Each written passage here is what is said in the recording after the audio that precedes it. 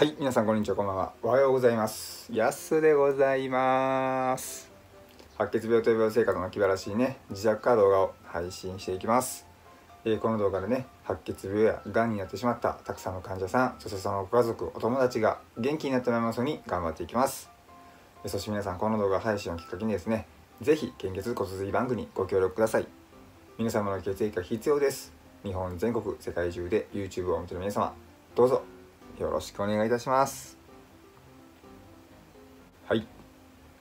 えー今日はね、お肉をたくさん食べる男性はね、死亡リスクが高くなるかもというお話なんですけども、あ、今日はね、あの、4月1日なのでね、エイプリルフールなんですけども、今からお話しするのはね、別にあの、嘘のお話ではありませんしね、あのね、追跡調査によるね、統計ですので、まあ、そこのところをよろしくお願いします。えー肉類のね摂取量が多い男性というのはね総死亡リスクっていうのがね上昇することがね日本人の約9万人を対象にしたね14年間の追跡調査で分かりました、えー岩手県秋田県長野県でしょうで沖縄県に東京都で茨城県新潟県高知県長崎県大阪府のねあの保健所管内にねあの在住する45歳から74歳のね男女に対してえー1995年とね98年にねあの食事調査を実施したんですよ。ほんで回答者のね8万7507人をね食事アンケートの結果にですね応じて、えー肉類の総量っていうんですかねあの豚とかね牛のね赤身の肉でハムやソーセージなどの加工肉のね、えーあとは鶏肉といったね1日あたりのね摂取量であの人数が均等になるようにね4つのグループにね分類して最も少ないグループと、えーその他のグループのねその後の死亡リスクというのをね2011年までのねや、えー平均14年間に追跡調査をしました、えー統計学的にね調査した結果によるとですね男性は肉類のね総量がね最も多いグループというのはね最も少ないグループに比べて総死亡リスクがね上昇して赤身の肉でもあのね男性で摂取量のね最も多いグループっていうのはね最も少ないグループよりも総死亡率が上昇してました。なんか怖い話ですよね。もう春のね穏やかな日が差している時にですねこんな話をするのはどうかなとは思うんですけども、まあ、皆さんにね見てもらうのはまあ夜なので あの夜も嫌ですけどねまあ勘弁しちゃってください。そして死亡別 C のね関連ではですね男性で肉類の総量が最も多いグループとそして赤身の肉の摂取量が最も多いグループっていうのは最もも少ないグループに対してね心疾患者のね死亡リスクがねこっちのグループはね高くなってました。ではですねこれらの結果からねあの肉類の摂取を控えるべきなのかというところなんですけどもあの研究員の意見ではですね肉も魚もねあの偏りなく食べてほしいということでした。ちなみにね糖尿病治療ではね様々な食品をねバランスよくねあの取ることが非常に大事なんですよ。そしてね絶対に食べてはいけない食品ではなくて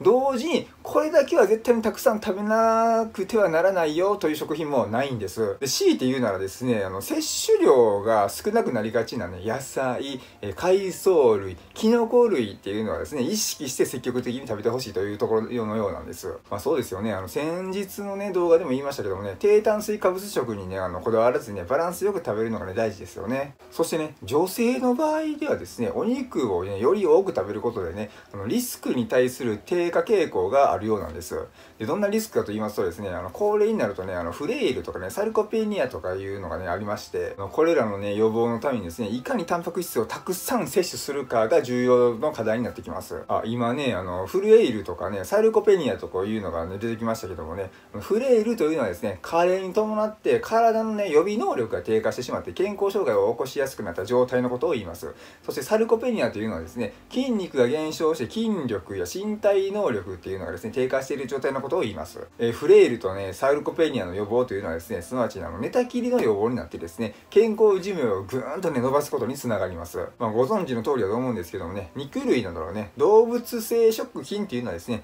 良質なタンパク質源なんです。あの肉をたくさん食べてる人はね健康で長生きするよという言葉をね聞いたことはありませんでしょうかね。あの以前ねこのお話をね動画でしたことありますよね。あの僕のね美容師の後輩のおじいちゃんがねすごく健康的やったんですけども、まあ、90歳ぐらいまでねがあの元気に生きてらっしゃったんですけどもねあの亡くなる前日までねあのステーキをね食べていたということなんですよ。あの今回のね話ではねその男性はお肉を食べてたら死亡リスクが高くなるよというお話なんですけどもね、まあ、このお兄ちゃんは決してお肉ばっかり食べてたわけじゃなくてですね魚も、え野菜もね何でもかんでもバランスよく食べてたということでその中でもお肉が大好きやったということなんです。でそのおじいちゃんのようにですねあの健康やから肉をたくさん食べられるのかそれとも肉をたくさん食べてるから健康でいられるのかというのはまあどちらが正解かははっきりしないんですけどもタンパク質を十分に摂取してね何歳になってもアクティブに活動できているという人はですね健康で長生きしてるよという印象をね皆さんも持ってると思います。一方でね肉といううのはね飽和脂肪酸とかねコレステロールの含有量がねすごく多くてね食べ過ぎるとね血血液中の悪玉コレステロールを増やしてしまって動脈硬化を進行させてしまってねあの心筋梗塞とか脳卒中とかのねリスクをね高めてしまいますのでね。でもだからこそですね肉も魚もあの偏りなく食べてほしいということになるんです、まあ、どれかがねその肉か魚か野菜かっていうのがね過剰になるのではなくねほどほどにバランスよく食べるのが大切でしてあの例えばね魚にはですね EPA とかね、DHA といったね、この話もしたことありますよね。長い話しましたよね。あれといったあの血液サラサラ効果とかね、中性脂肪の低下作用とか、脳神経の再生作用などをね、ある成分がね、豊富なんですけどもね、これらはですね、肉からは取れません。またね、タンパク質というのはですね、肉や魚だけではなくてね、大豆、大豆加工食品やね、卵にも含まれていますのでね、納豆や豆腐でしょ。で、卵料理っていっぱいあるじゃないですか。そんなもね、食べてほしいところです。今回の研究結果ではですね、あの肉好きの人は過剰に肉を食べ過ぎる傾向がある。もっとバランスよく食事をとね捉えるべきだとね研究員は言ってます。実際ね女性に関してっていうのはですね肉類全体およびねあの赤身の肉のね摂取量の多いグループではですね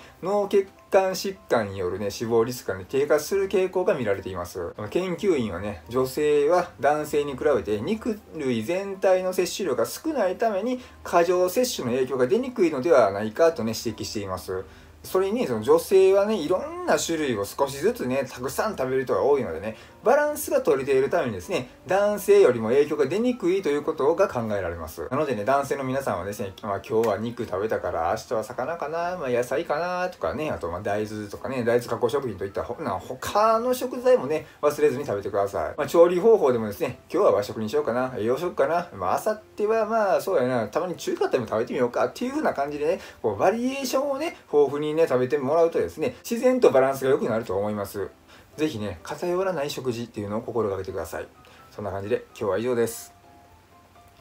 えー、今日も最後まで見ていただきましてありがとうございました。バイバイ。僕は元気です。